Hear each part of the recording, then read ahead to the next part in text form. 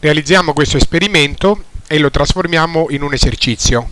Un disco di metallo è il nostro corpo rigido, vincolato nel centro, libero di ruotare. Agganciamo 5 pesetti in questo foro, che chiamiamo B, e la forza peso eh, dei 5 pesetti la chiamiamo FP, FB. Poi agganciamo un dinamometro in questo foro che chiamiamo A e la forza elastica del dinamometro la chiamiamo FA. Vediamo che il dinamometro segna 1,6 Newton Inoltre eh, mettiamo qua un filo a piombo per vedere dove cade precisamente la verticale, dopodiché tracciamo con la matita una linea lungo la verticale e tracciamo anche questi altri raggi che collegano il centro, il fulcro, con i punti A e B.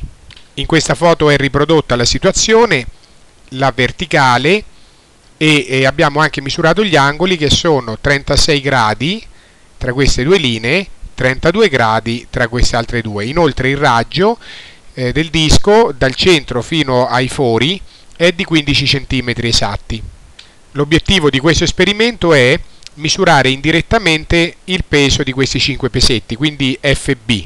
Indirettamente nel senso che bisogna stimare questo peso eh, in base all'equilibrio di questo disco che appunto sta fermo e non ruota sottoposto a queste forze qua.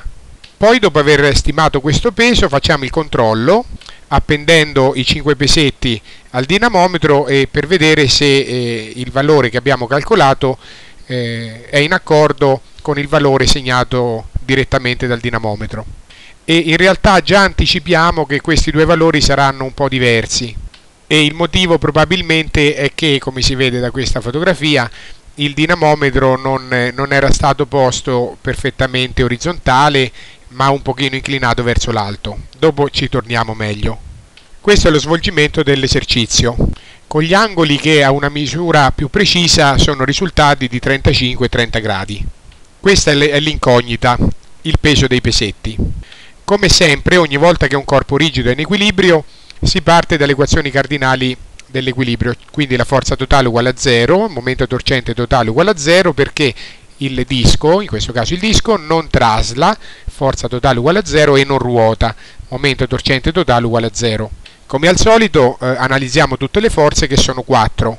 Infatti eh, c'è FA, nota, FB, l'incognita, poi c'è il peso, eh, la forza peso del, del disco, FG, che è applicata nel baricentro, che coincide con il fulcro, e poi come sempre c'è la forza vincolare.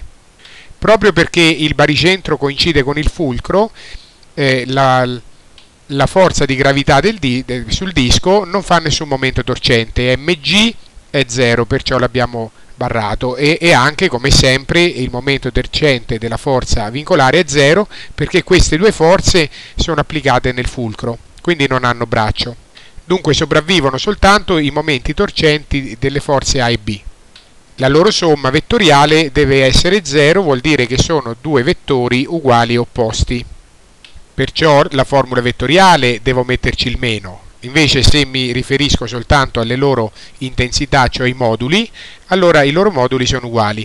L'uguaglianza di questi due eh, moduli, cioè il fatto che siano due vettori momenti torcenti uguali opposti, assicura che non ci sia rotazione, cioè il disco sta fermo.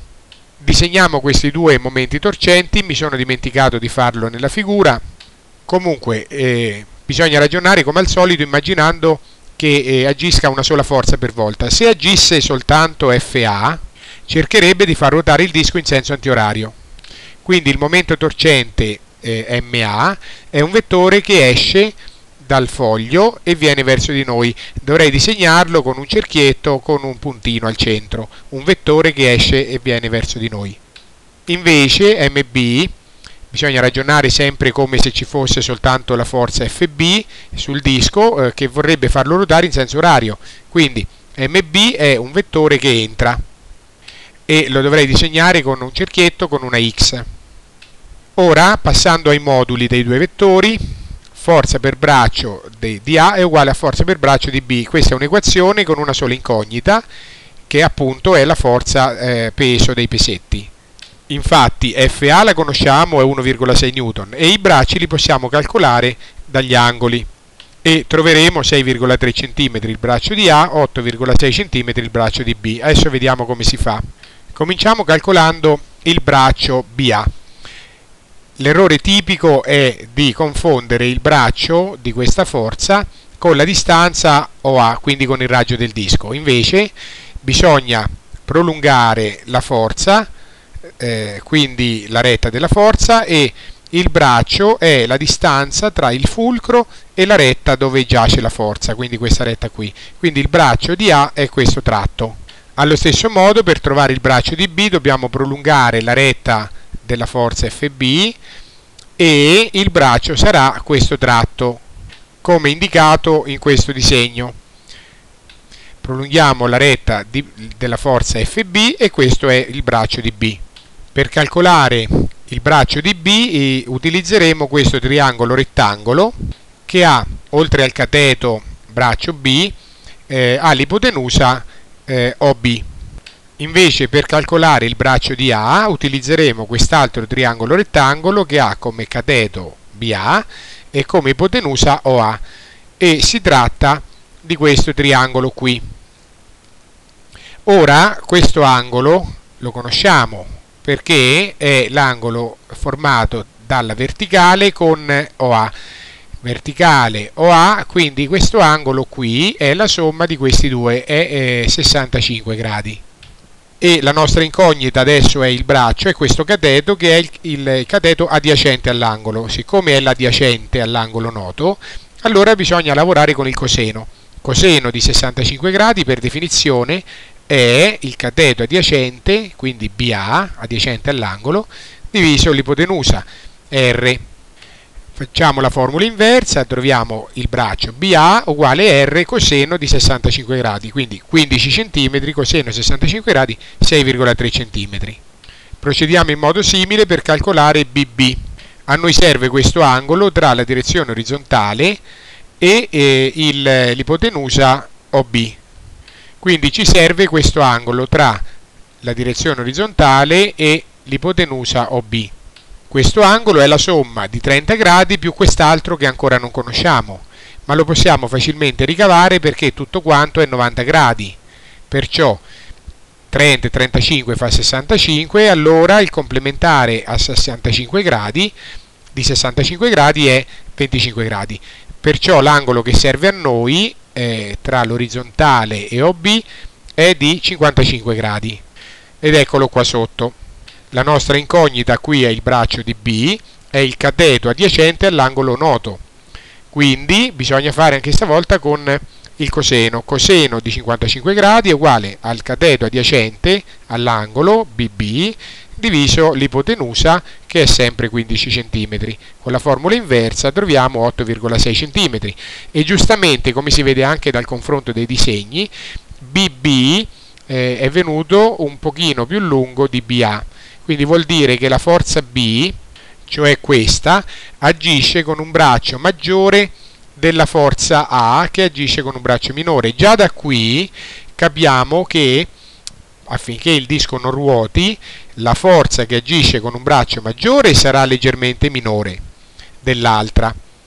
Quindi ci aspettiamo che FB sia minore di FA, perché il suo braccio è più lungo di BA. Siccome FA era 1,6 Newton, ci aspettiamo che FB sia minore di 1,6 Newton e infatti così sarà. Torniamo a dove eravamo rimasti prima, quindi i due momenti torcenti uguali e contrari, stessa intensità, stessi moduli, eravamo arrivati a questa equazione, c'era da trovare FB.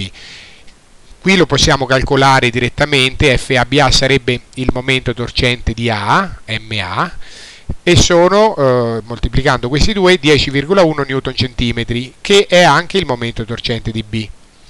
Dopodiché, facendo la formula inversa, troviamo FB, 10,1 Nm diviso 8,6 cm fa 1,2 N, quindi si conferma che FB è venuto più piccolo di FA, come abbiamo detto poco fa.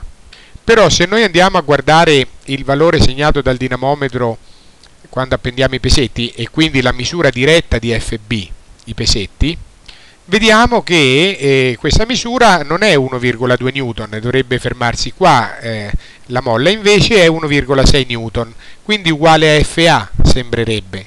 come se le due forze avessero lo stesso braccio, cioè il fatto che siano venuti della stessa intensità FB uguale a FA eh, significa che hanno bracci lunghi uguali, mentre invece teoricamente eh, erano diversi.